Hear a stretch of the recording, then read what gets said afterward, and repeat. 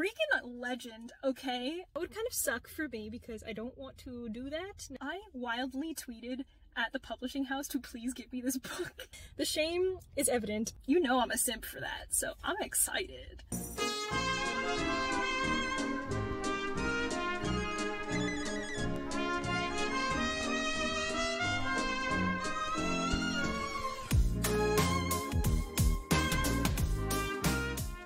Rachel, this is Let Me in the Library, except we're in my car, and actually I'm going to do my TBR in my car, but um, I'm currently trying to run some errands, so this is going to be a little more chaotic than usual, but we are going to do my TBR game. As usual, I'm rolling some dice, we're going to see what I have to read according to those rolls, and I have decided to also incorporate more friend recommendations into my TBR games. Let's go see what I rolled, and then we'll come back after I run an errand, and we'll talk about it.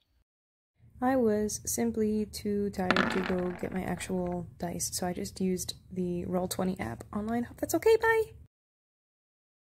I'm back from an errand, so let's talk about what I rolled and what I have to read. So, the first thing that I rolled was a 1, which means that I need to read an intimidating book. I brought my books with me in my car so that I could show you what I have to read, but the first book I'm going to be reading is Dragon Republic. Not the first book that I'm reading this month, but this is what I've rolled for. The Dragon Republic is extremely intimidating to me. This seems to be a lot of people's favorite book of the Poppy War series. Everybody um, seems to like adore this book, and I am quite intimidated by the size, by the sheer amount of love for it.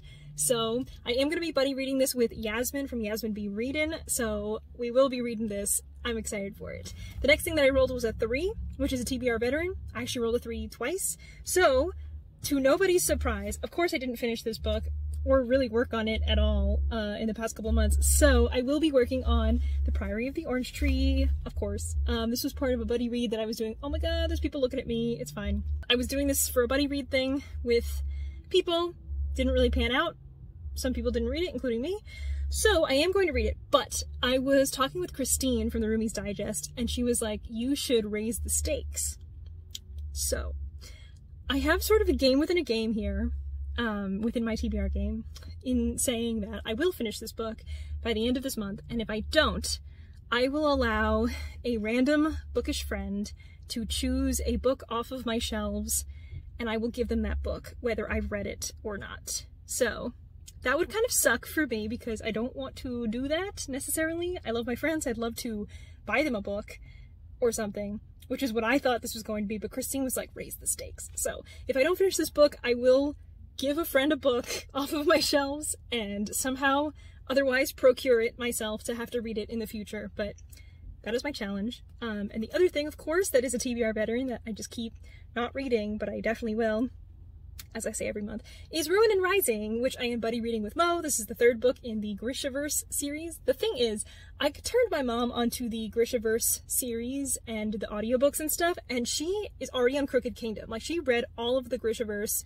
the first three books, and then she started Six of Crows, and she liked it, and then she's on Crooked Kingdom now, and she's like, haven't you read this yet? I'm like, no. So the shame is evident. The next thing that I rolled was a five, and that is the spin the bottle thing. So usually what I do here is now I show you B-roll of me spinning a bottle and landing on a book, but actually I have a friend who does a spin the bottle game as her entire TBR game and it's really fun and there's all these little mini games. So I thought it would be fun to let the professional take the wheel and Sid from Sid Bookworm is going to give the prompt to me. She sent me a video and we're going to watch it together uh, I will cut to a clip of me doing that because I am, again, still in my car being watched by people, so another time. But that's what I'm going to do for my number five roll. Let's watch it. Hello party people, it is time to react to Sid's video. We're gonna see what Sid has in store for me and watch it together for the first time.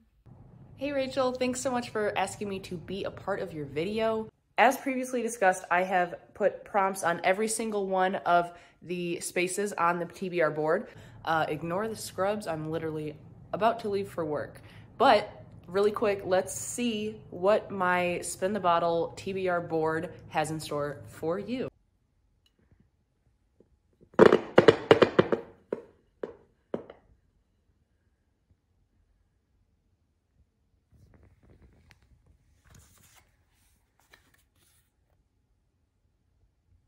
Okay, so the prompt you got was a new to you author. It's pretty self-explanatory. I know you probably don't need me to explain it. So uh, yeah, read a book with an author that you haven't read before.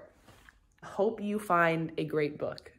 Okay, so I will be reading a book by an author who is new to me. Actually, this would be perfect for Velvet Was the Night because I have never read Mexican Gothic by Silvia Moreno Garcia, but I am trying to read Velvet Was a Night because my hold came in for that, and I'm hopefully buddy reading that with Jayla. So let's get to it because it expires in like two days. So Jayla, if you're seeing this, we're already buddy reading this.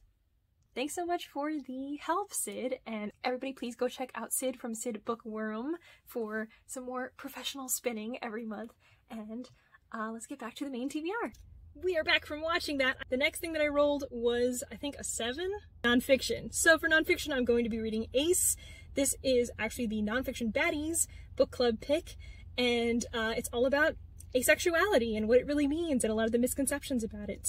The last thing that I rolled was a 16, which means that I put out a poll. So usually I say I just do a Twitter poll, but this time I really went all the way and I did a Twitter poll, I did a YouTube community tab poll, and I did an Instagram poll. So I pulled all of the votes from all of those and in the end, we were very, very close to getting the Chosen and the Beautiful, but actually it was really no competition when you accumulate all of the votes across everything, Daisy Jones and the Six was the clear winner of that poll. So I will be reading that. I'm pretty excited about it because I actually just finished Malibu Rising and I do want to read more of Taylor Jenkins Reid's backlog. So really excited to read this one. Uh, this one's like an interview format, trying to get to know this elusive, awesome band.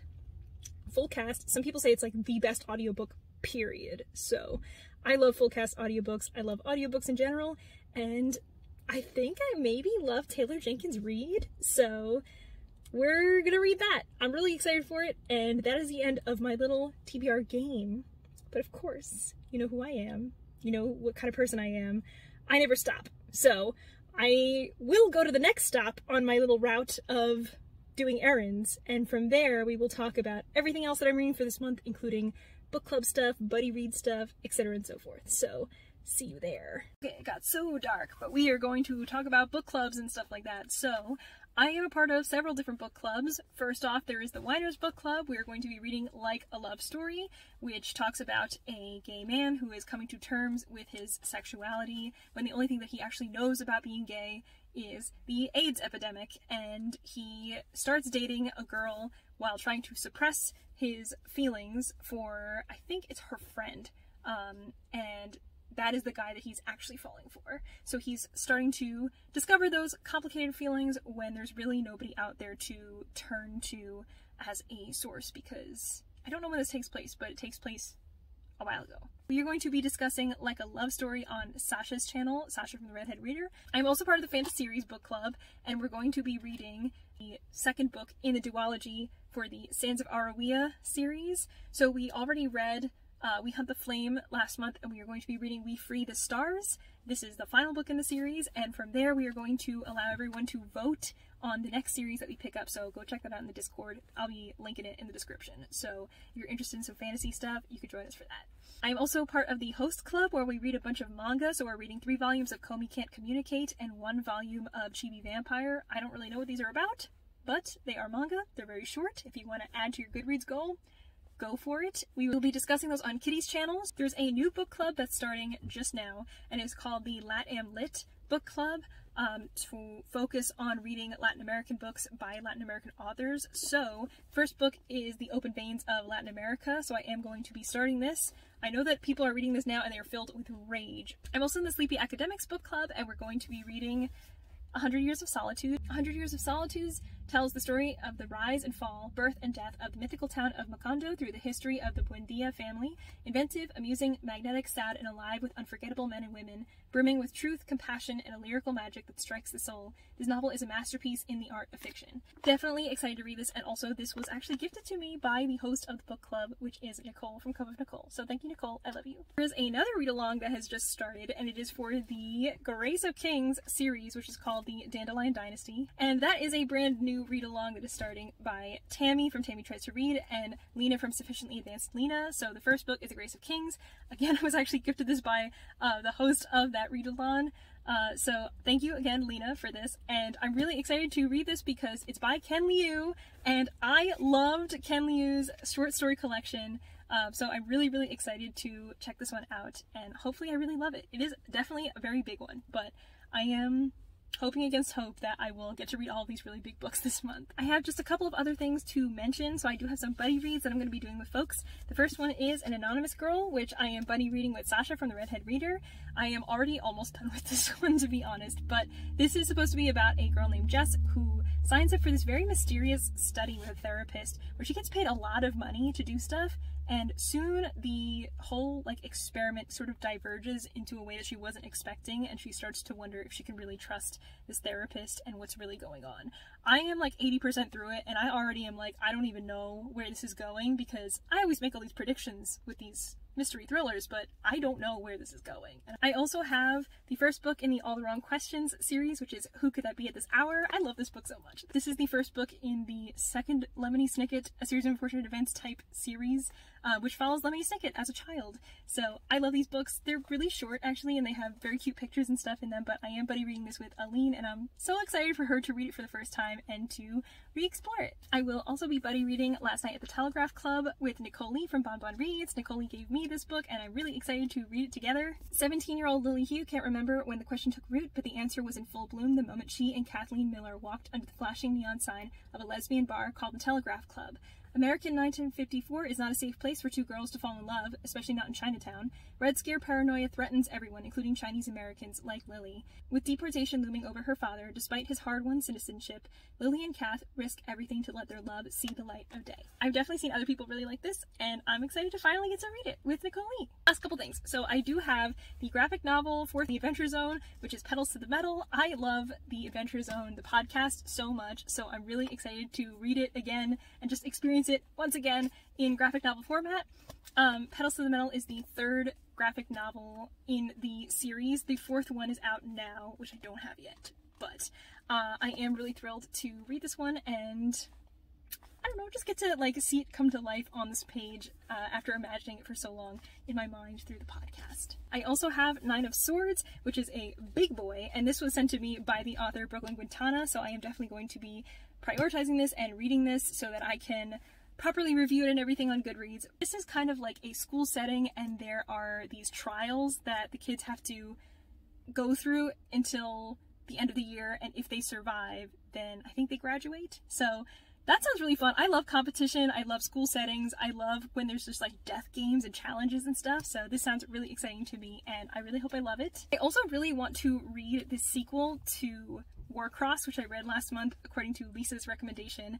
So Wild Card is the sequel to that. Some people love it, some people think it's not very good, and I just want to read it and see what happens. I have two arcs as well that I need to read. One of them is for a book that just came out, so sorry, but guys, guys it's Poison for Breakfast by Lemony Snicket.